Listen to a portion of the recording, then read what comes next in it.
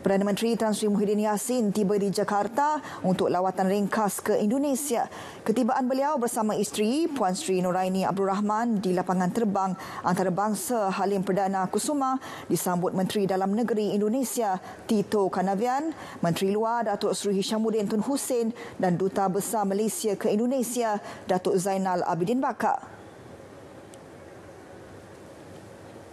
Tan Sri Muhyiddin diiringi kumpulan delegasi kecil dalam prosedur operasi standard SOP kesihatan yang ketat. Lawatan pertama Perdana Menteri ke luar negara atas dasar menghormati Indonesia sebagai rakan negara serumpun yang telah menjalin persahabatan akrab selama berpuluh tahun. Memandangkan pandemik COVID-19 khususnya di Malaysia dan Indonesia masih berlarutan, Perdana Menteri sendiri meminta agar lawatan tersebut diadakan secara singkat iaitu kurang daripada 24 jam.